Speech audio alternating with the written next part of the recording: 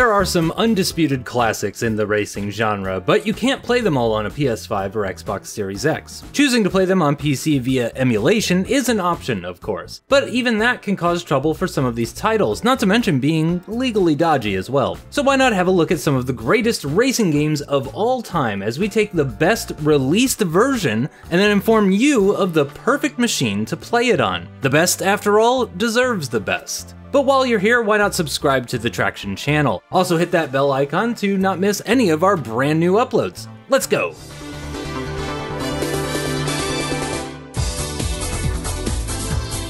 Sega's classic arcade title remains one of the finest racers of all time despite being more than a quarter of a century old. Outside the realms of fantasy, where you can source an actual Model 2 arcade cabinet, there are two conversions that catch the eye. The first is the Japanese only PS2 version. While it's necessary to both import it and find a modded or Japanese PS2 that can play import games, it does deliver a very solid replica of the arcade game, at a lovely 60 FPS as well. However, steering wheel support is poor and it's limited to just the arcade game modes. So your best bet is still, amazingly, the Sega Saturn conversion. Played on a real Saturn through a decent HDMI upscaler and the bright colors still pop on a modern TV. Use game mode to get input lag down and it's perfectly playable. This version is also great with the Saturn Arcade Racer steering wheel, even though it doesn't have pedals. While a PC port of this version exists, it's notoriously difficult to get it to run well or indeed at all on anything, and arguably looks worse cleaned up. The Saturn version is still one of the best racers ever made, so get on it.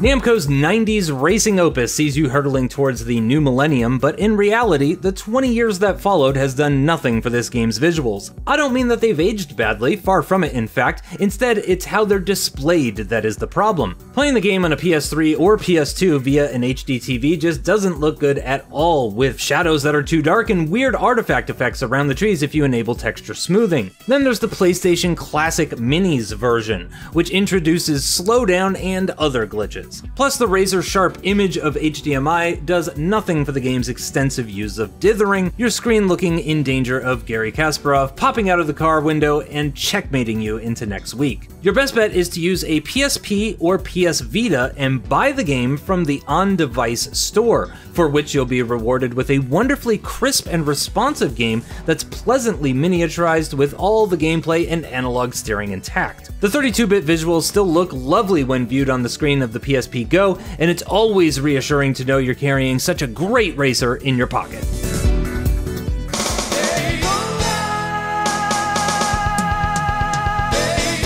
Another Sega coin-op, this game really does seem to get better with age. Thankfully, the days of having to put up with 15 FPS and a letterbox display on Saturn are long gone. And while the Dreamcast conversion has its charms, there's one clear choice for playing this one today an Xbox One X or Series X playing the Xbox 360 version. That's right, Daytona USA HD is an astonishing conversion of the arcade game code, which means the colors are right, the exquisite and deep handling model feels right, and it even has the unique arcade soundtrack intact. There is, however, one problem. While an Xbox One X will upscale the game to 4K and use its crazy good anti-aliasing on all the polygons to make it look awesome, you can't buy the game on the Xbox One store. It makes no sense you can't even buy it via the Microsoft website. For some unknown reason, you need to hook up a real Xbox 360, navigate to the store, buy the game for your account, and then load that account onto your Xbox One X or Series X. It's all there, running on Microsoft's own Xbox 360 emulation, but better than the dear old 360 itself could ever manage. It's a lot of effort, but my goodness, the result is worth it.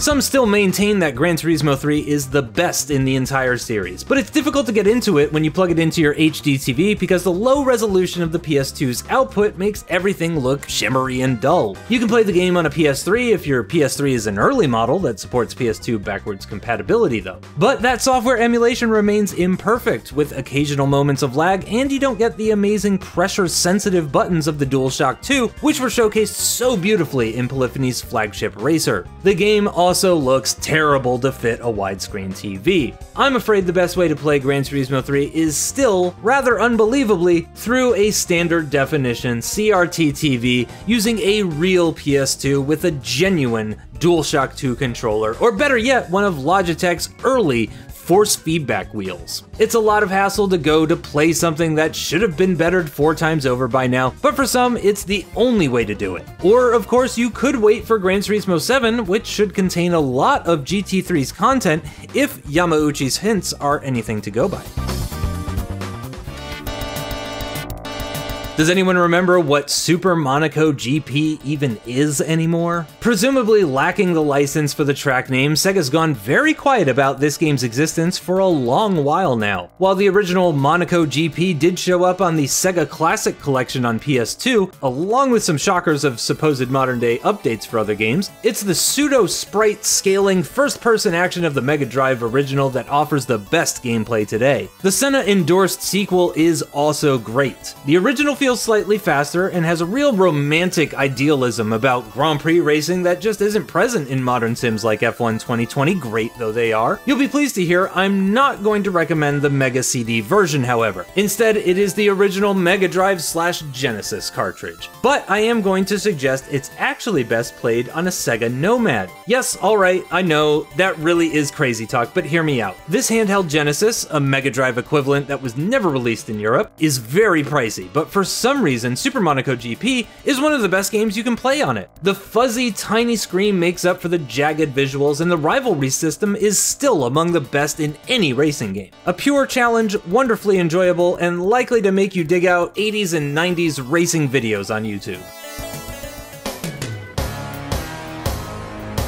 This is the most obvious one on the list because we've recently seen the game converted to Nintendo Switch with better than arcade visuals, even though it's running the actual arcade code. With HD resolution and doubled frame rate, this is an incredible achievement from the Wizard Conversion Kings at M2. The game is the template from which virtually every modern 3D racer was born, with changeable viewpoints, massive crashes. This comes after so many years of almost, but not quite, ports from Mega Drive slash Genesis to the 32X to the Saturn and the PS2, but none of them have either the handling or the sheer brazen awesomeness of the arcade title. If only the Nintendo Switch had steering wheel support. No matter whether on a massive TV or in handheld mode, Virtua Racing is the absolute business on Switch. The recent rework of Grid for modern machines fell short of the standard set by the 2008 original in almost every area except for graphical fidelity. But that's okay because the original was so forward thinking, it's still a great looking game today. For the only time in this feature, however, I'm afraid it's not the console version that's going to get my recommendation. Modern PCs can run this game with all of its settings up at maximum and with insane resolutions, and all with silky smooth frame rates. But if console is your only way to go, then it has to be the Xbox Xbox 360 version. It runs smoother than the PS3 version and looks better too. It's a pity the Ego engine was still being optimized because the game can get choppy when a sudden collision needs to be processed, but no matter. This is still one of the deepest, most spectacular, and rewarding racers that you can buy. It also works with Xbox 360 steering wheels too, though it's not the easiest game to control like a sim. The simulation is apparently so approximate that the car's brakes are actually just the in-game wind being turned up really hard on their bonnets. I swear a Codemasters employee told me this. But anyway, fantastic racer, best played on Xbox 360 or a compatible PC.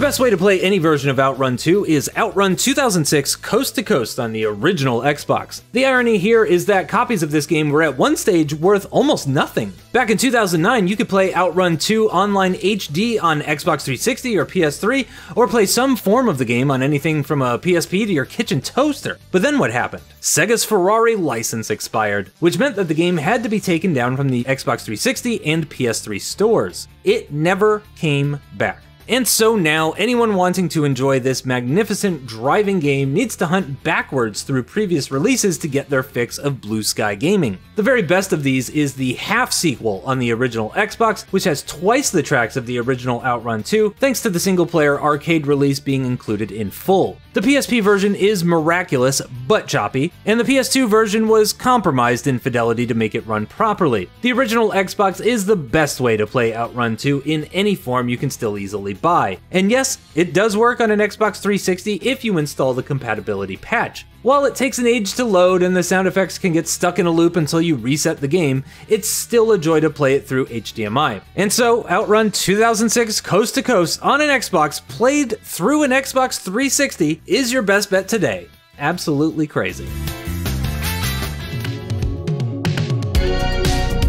It's a Marmite game, but there's no denying Burnout Paradise set the template for every open world racing game and has rarely been surpassed in any of the areas that really matter. It's ridiculously fast, runs at 60 FPS on everything, and has a superb soundtrack. Oh yes, and it's utterly spectacular. Thankfully, the original versions have aged incredibly well thanks to the clean art style and aforementioned silky smooth frame rates. But we've also had remastered versions that are playable on all the current consoles, including Nintendo Switch, complete with all of the best-in-class DLC that saw an entire extra island added to the already large and detailed game. But what's the best way to play it? Well, there's an argument for purity, and Vanilla Paradise, as it runs off a PS3 disc, has its appeal. The game is a little better on PS3 over Xbox 360, a rarity at the time, but indicative of Criterion's close relationship with Sony and its hardware. But for the full experience, it's got to be Burnout Paradise Remastered on Xbox Series X or PS5 gorgeous 4K resolutions, teeny tiny load times, and achievements to unlock. There's no need to seek out old copies for this one. Modernity will suffice quite nicely, thank you very much.